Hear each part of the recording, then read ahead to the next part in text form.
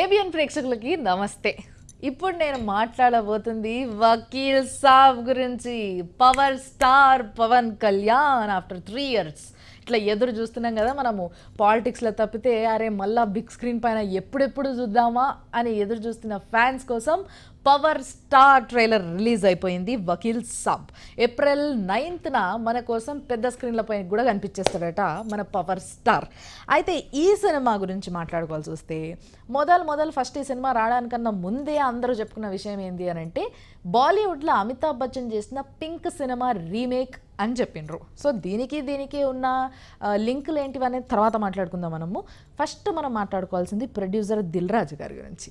దిల్ రాజు అసలు ప్రొడ్యూసర్స్ మెల్లమెల్లగా మెల్లమెల్లగా ఇట్లా హైప్లోకి వస్తుంటాయి అంటే ఇంతకుముందు ఒక జమానాల ప్రొడ్యూసర్ అంటే ప్రొడ్యూసర్ ఏం చేస్తాడైనా పైసలు పెడతాడేమో. ఆయన ఎవరో మనకు తెలియదు సినిమాల హీరో హీరోయిన్ తప్పితే ఎవరు తెలియకపోతుండే కానీ దిల్ రాజు లాంటి ప్రొడ్యూసర్స్ ఎంతోమంది వచ్చినాక చాలా కాలం తర్వాత కూడా దిల్ రాజు అనే ఒక బ్రాండ్ అట్లుండిపోయింది. అంటే ఈయన తీసే సినిమాలన్నీ కూడా ఈయన అంత ఈజీగా ఎవరిని నమ్మడు. ఒకవేళ నమ్మి సినిమా చేసిందంటే ఆ సినిమా మనం అందరం కంపల్సరీ చూడాల్సిందే అన్న ఆలోచనతోని జిల్ దిల్ రాజు గారికి కూడా ఒక హీరోకు ఉన్నట్టుగా ఫ్యాన్స్ ఉండడం జరిగింది. అది దిల్ రాజు గారి సినిమా ఎఫెక్టివ్ దాని తర్వాత డైరెక్టర్ గురించి మాట్లాడుకుంటే ఇది కొంచెం కొత్తగా అనిపిస్తుండొచ్చు మీకు. వేణు శ్రీరామ్ మనకి జోస్ సినిమాతోని ఎంట్రీ ఇచ్చిన వేణు శ్రీరామ్ అఫ్కోర్స్ ఫస్ట్ నుంచి దిల్ రాజు గారి దగ్గరనే పనిచేస్తూ అలా అలా అలా జోష్ జోష్ తర్వాత ఓ మై ఫ్రెండ్ రెండు ఫట్లే. మనకందరికీ తెలుసు ఈ రెండు సినిమాలు అంతగా ఆడలేదు. దాని తర్వాత ఎంసీఏ సూపర్ హిట్ మామూలు హిట్ కాదు. కానీ దాని తర్వాత ఎప్పుడెప్పుడా ఎప్పుడెప్పుడా అంటే ఒక సూపర్ స్టార్ అదే మన పవర్ స్టార్ని ముందుకు తీసుకొస్తున్నాడు కాబట్టి ఈసారి కంపల్సరీ ఒక స్టార్ డైరెక్టర్ అయిపోతాడు అని అనిపిస్తుంది.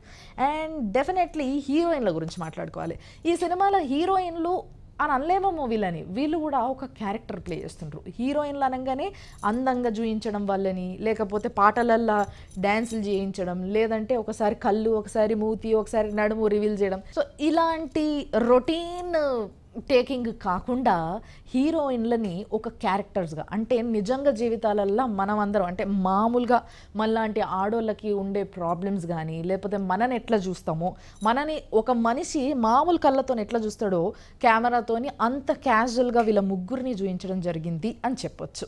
అయితే ఇందులో ఉన్న ముగ్గురు హీరోయిన్లు కూడా అంజలి నివేదా థామస్ అనన్య. ఇలా ముగ్గురు. ఇలా ఇద్దరు మనకు బాగా తెలుసు ఇంకొక అమ్మాయి కూడా చాలా మంచిగా కనిపించింది. ముగ్గురు దోస్తులు. వీళ్ళ ముగ్గురికి జరిగే సంఘటనే అసలు స్టోరీ ఈ విషయం అందరికీ అర్థమైపోయి ఉంటుంది ట్రైలర్ చూసిన తర్వాత. ఇక ప్రకాష్ రాజ్ గారు. నెగిటివ్ రోల్ అన్న విషయం అర్థమైపోతుంది. కానీ చాలా రోజుల తర్వాత ప్రకాష్ రాజ్ గారిని చూస్తుంటే నాకు ఏమనిపిస్తుంది అంటే కొన్ని రోజులుగా ఆయన కొంచెం మంచి నిండు కనిపించే వ్యక్తి ఇప్పుడు మళ్ళీ ఫిట్ ఇట్లా హీరో ఎట్లా మెయింటైన్ చేస్తాడో అట్లా మెయింటైన్ చేస్తాడు. నేను విలన్ని కదా జస్ట్ క్యారెక్టర్ ఆర్టిస్ట్ని కదా అని అనుకోనే అనుకోడు. అండ్ అంతేకాకుండా ఆయన చాలా డౌన్ టు అర్త్ చాలా వణిగి వంగి మాట్లాడే మనిషి. అండ్ ఫైనలీ పింక్ సినిమాకి దీనికి లింక్ మాట్లాడుకుందాం అనుకున్నాం కదా. పింక్ సినిమాలో అమితాబ్ బచ్చన్. అసలు ఏమైనా స్టారా బాలీవుడ్కి బాప్ అయినా ఇక. అలాంటి బాపు అలాంటి ఒక క్యాజువల్ స్టోరీ చేసినప్పుడు జనాలందరూ కనెక్ట్ అవుతారు. ఎందుకంటే అంత పెద్ద వ్యక్తి అయినా అంత మంచి వ్యక్తి అయినా ఆయన చాలా సింపుల్ స్టోరీ లైన్ని నమ్మి అంటే ఇట్లా జరిగితే ఆ కేసుని ఎట్లా డీల్ చేయడం. ఇలాంటి వాటి గురించి ఒక సినిమా చేసిండు. ఆ సినిమాలో ఆయనకి హీరోకు ఉండాల్సిన ఏవైతే కలర్లు ఆ స్ప్రింకిల్స్ ఉండవు అని తెలిసి కూడా చేసిండో. ఇన్ ద సేమ్ వే మన పవర్ స్టార్ కూడా ఈ సినిమాని చెయ్యాలి అనుకున్నట్టున్నారు. అందుకే దీన్ని రీమేక్ చేయడం జరిగింది. అయితే వేరే ఫస్ట్ టైం పవర్ స్టార్కి ఇప్పుడు వరకు అన్ని సినిమాలు ఎన్నో సినిమాలు చూసినాం పవర్ స్టార్ సినిమాలు. అన్ని సినిమాల్లో కూడా మనం చూస్తుంటాం కదా స్టార్ అంటే స్టార్ హీరోస్ అనగానే ఇట్లా అడుగు పెట్టగానే డబేలు మన వగిలిపోవడు గుద్దంగానే గుబాలు మన ఊగిరి ఉరికిపోవడు. ఇలాంటివన్నీ క్యాజువల్గా కనిపిస్తుంటాయి. బట్ ఈ సినిమా ట్రైలర్లో అలాంటివి ఏవీ లేకుండా ఒక క్యాజువల్ వ్యక్తి. అంటే ఈయన పాలిటిక్స్లో మన అందరి మనిషి మనలో మనలాంటి మనిషే అన్నట్టు ఎట్లయితే తిరుగుతున్నాడో అట్ ది సేమ్ టైం సినిమాలో కూడా అంతే సింపుల్గా కనిపించేలాగా చేసిండ్రు. అది నాకు చాలా చాలా చాలా మంచిగా అనిపించింది. మరి ట్రైలర్ చూస్తుంటే సినిమా తప్పకుండా చూడాలి చాలా మంచిగా ఉంటుండొచ్చు అనిపిస్తుంది.